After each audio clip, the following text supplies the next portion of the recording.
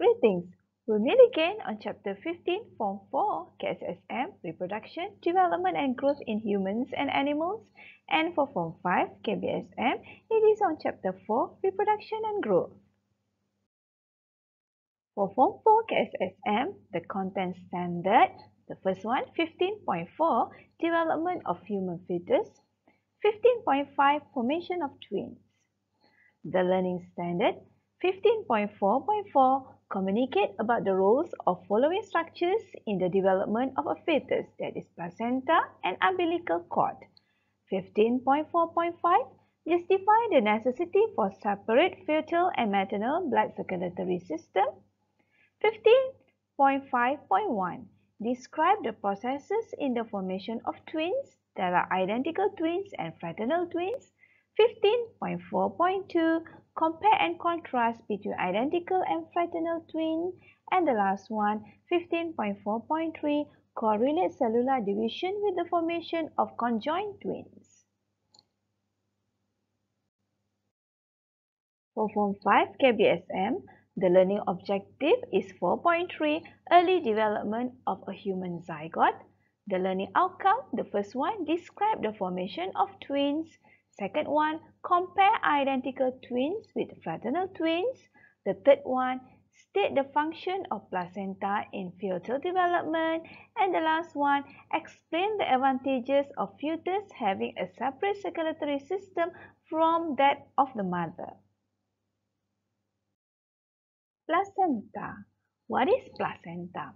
Placenta is formed from the mother's endometrial tissue and the embryonic tissue. So you can see this is the placenta. Make it bigger. Okay.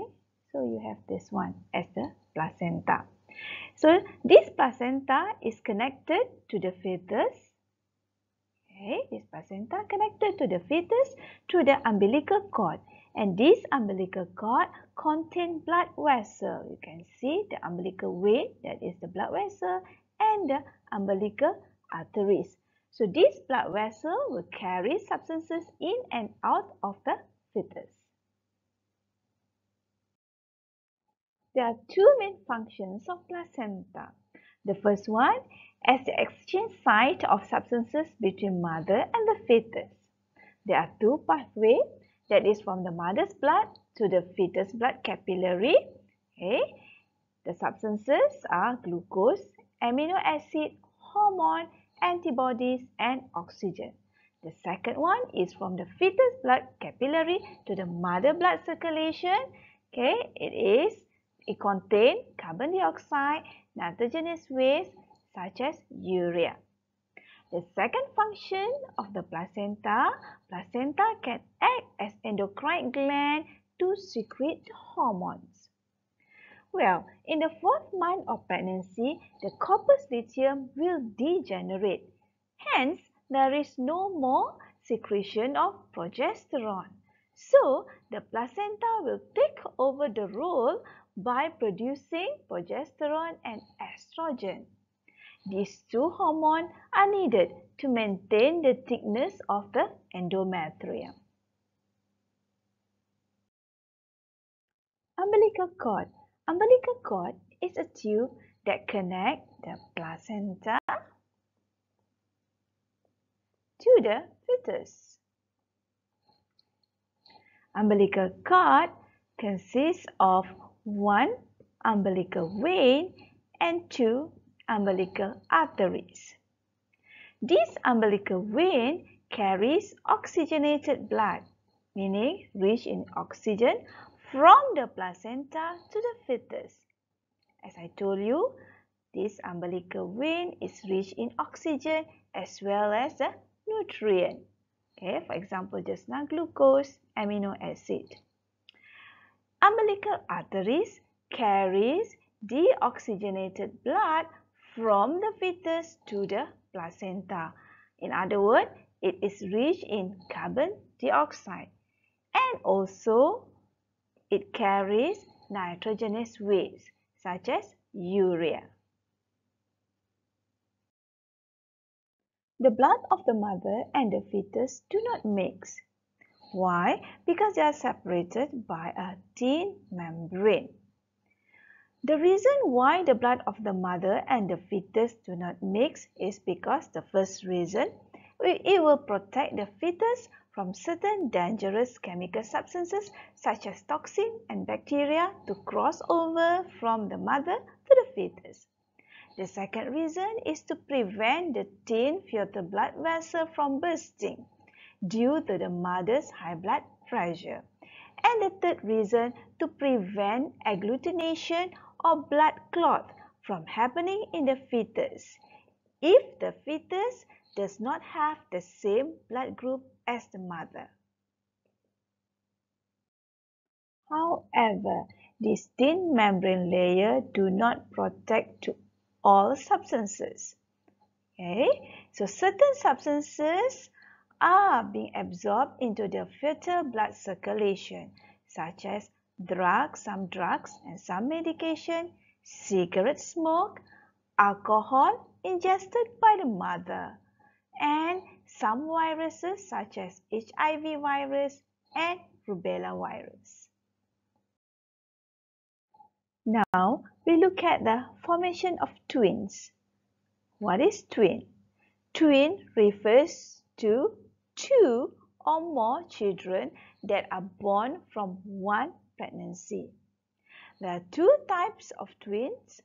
The first one is known as identical twin, the picture of identical twin, and the second one is known as fraternal twin, the picture of fraternal twin.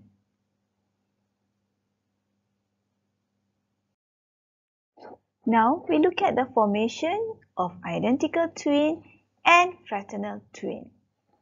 Look at the first one. This is the formation of identical twin. In the identical twin, we have one sperm fertilize one ovum. So you have one embryo, but the embryo will later divide into two. So you have two.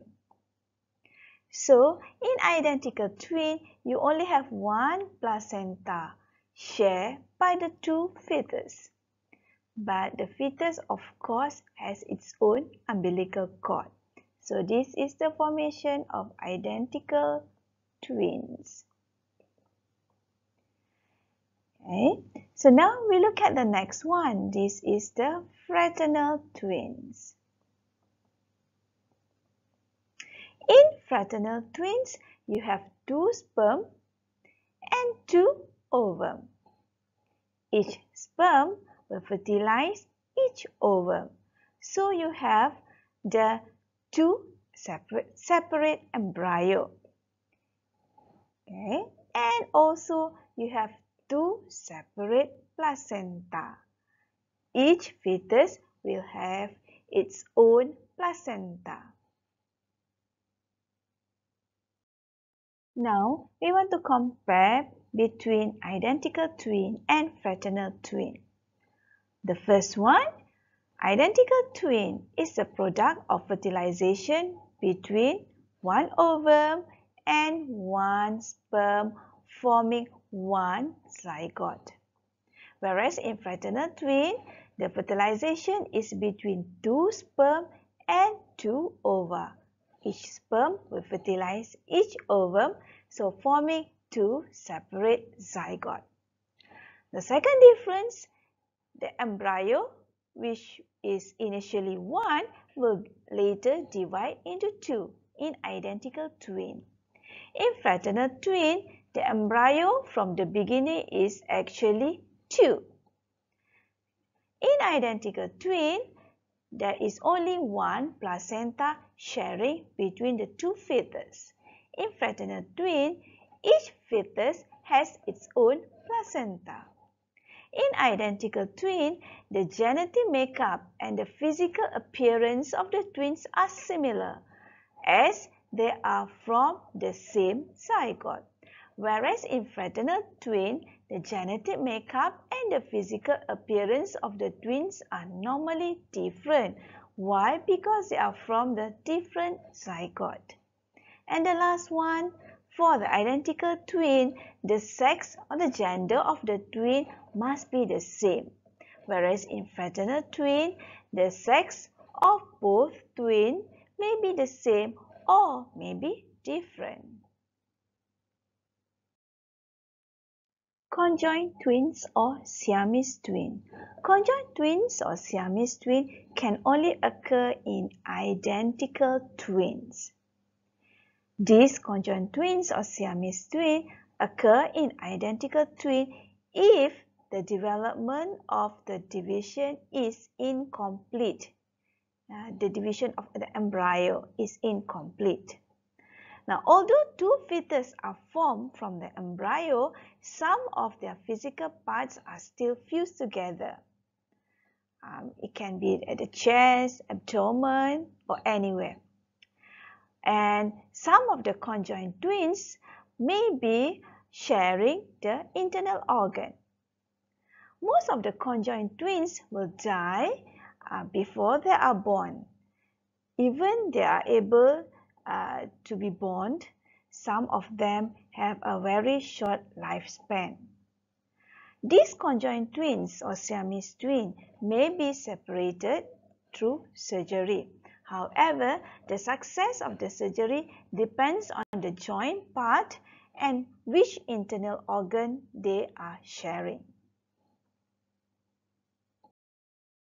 We have come to the end of today's topic. If you want to take the quiz on the topic, you can check down there and subscribe my YouTube channel to get update on more of biology video. See you next time. Bye bye.